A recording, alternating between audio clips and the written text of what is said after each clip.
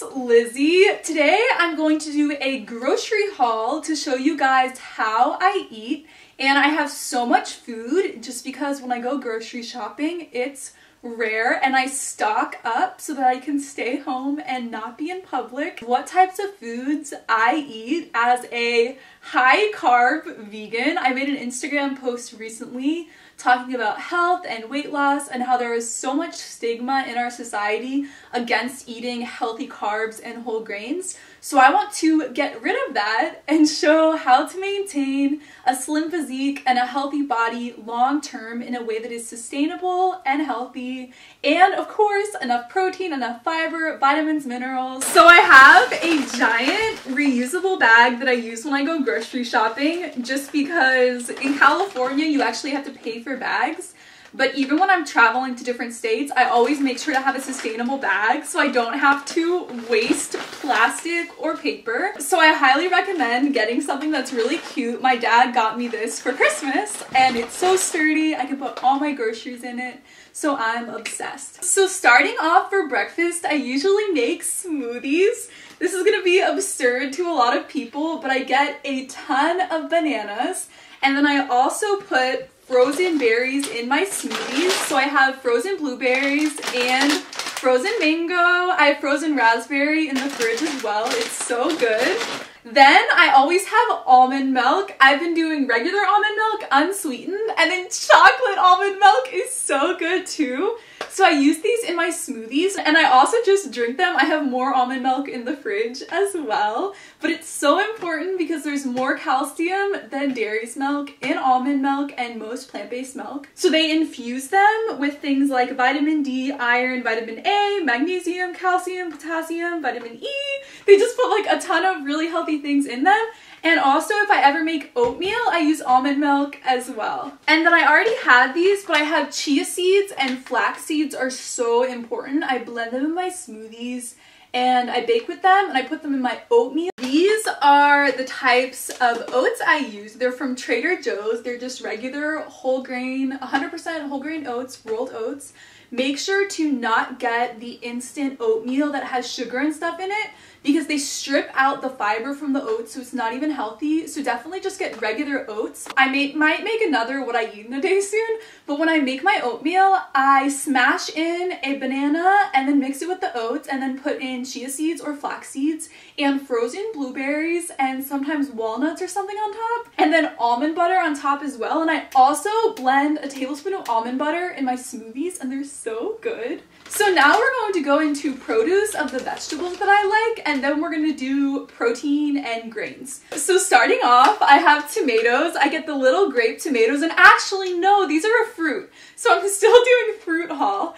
So I love chopping up cherry tomatoes into tacos, burritos, pasta, pizza. There's so many different ingredients. If you want to know how to make my meat lovers vegan loaded pizza. I'll link that video below, my what I eat in a day. Then I love avocado so much. I put them on my burgers, tacos, burritos, even just for a snack, eating an avocado, they are so delicious. Then I love bell pepper. I also cut them up into pasta and burrito and taco. So the types of foods I eat are very repetitive, I guess, but they're so good.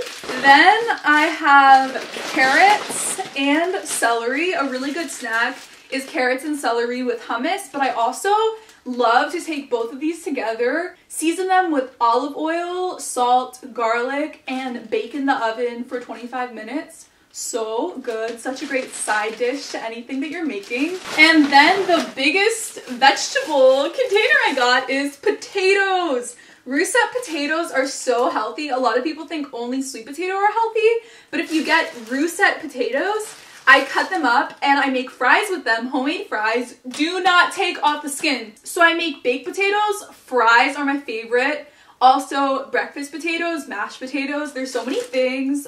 Potatoes are a root vegetable. So then the type of grains that I get, I absolutely love the sandwich thins. They are 100% whole wheat. They have 4 grams of fiber, 6 grams of protein. I use these with the burgers I make, the veggie burgers, which I'm going to show you in a second. And then I also just got pumpernickel bread and rye bread that also have a lot of fiber and protein in them. And I just love snacking on bread so much and making sandwiches and making burgers and putting almond butter on them and as a side with oatmeal. There's so many different ways to eat bread. Always make sure to get 100% whole wheat so you get the full fiber. If you get white rice, potatoes with the skin off, juice without the entire fruit, white noodles, white bread. There's no fiber in it, so you're not going to be full, and then you're going to be eating way more food than you need. Whereas if you just had the fiber in it and the full fruit and the full oats without processed, if you need if you eat non-processed food, it's going to fill you up faster and then you won't overeat. So if you want to maintain a slim physique and lose weight, you have to eat the full whole grains with the fiber count. So always check the fiber count. Make sure it's like four or five grams of fiber. If it's like one gram of fiber, then don't buy it. So next, something else I use as a snack, or if I'm making Indian food or falafel, hummus is so yummy. It's a great snack. I put celery and carrots and I just snack on hummus. Also bread with hummus. It's so good. So I actually got two giant things of like extra large hummus at the store. So now we're going to go into my fake meat and protein and more vegan-like products that I really recommend. So starting off, these are the Trader Joe's Quinoa Cowboy with black bean and roasted corn veggie burgers. They are amazing. I love making these with the Chao vegan cheese and then two slices of pumpernickel bread. It's so good. And also, I put avocado and tomato in my burgers as well. So then some other burgers that I really recommend.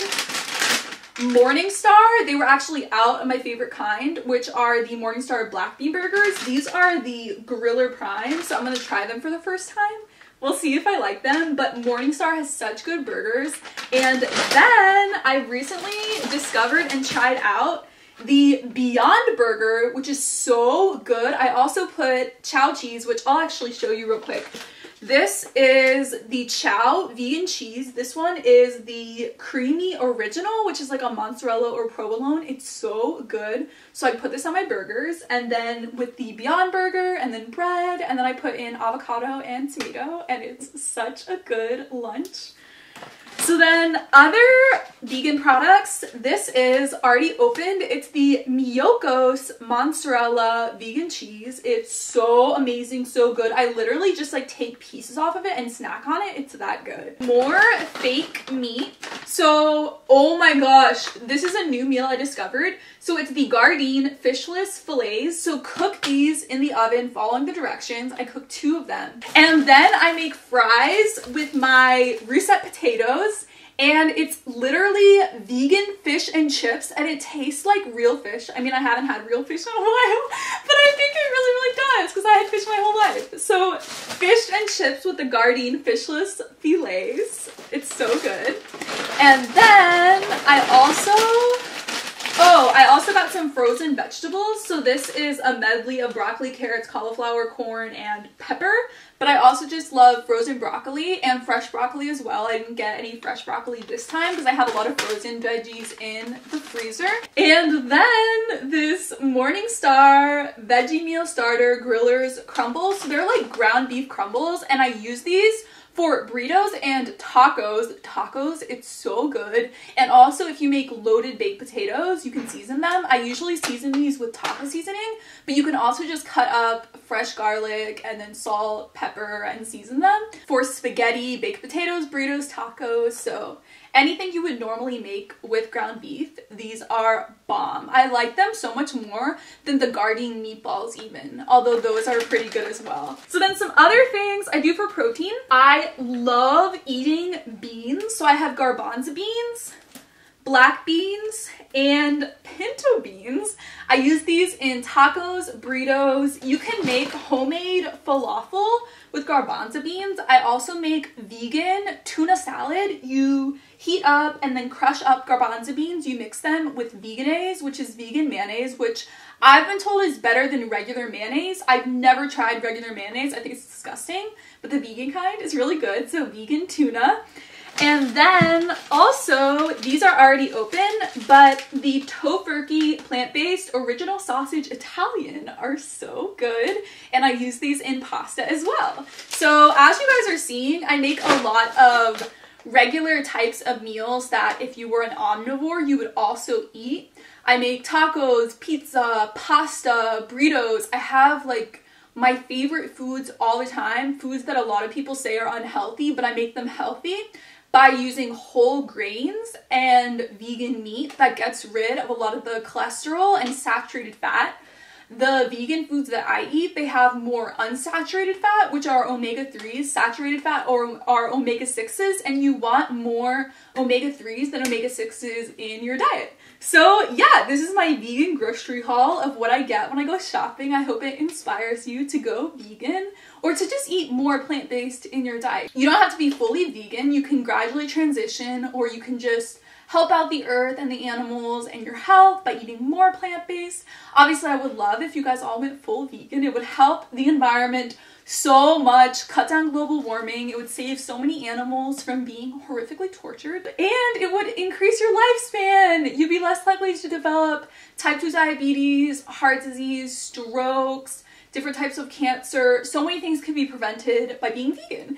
And the documentaries I recommend if you want to know why I'm vegan are linked below. They are called Cowspiracy, Forks Over Knives, and Food Inc. So definitely go check those out. I highly recommend. Cowspiracy is free on YouTube. It talks about the environmental impact and the animals.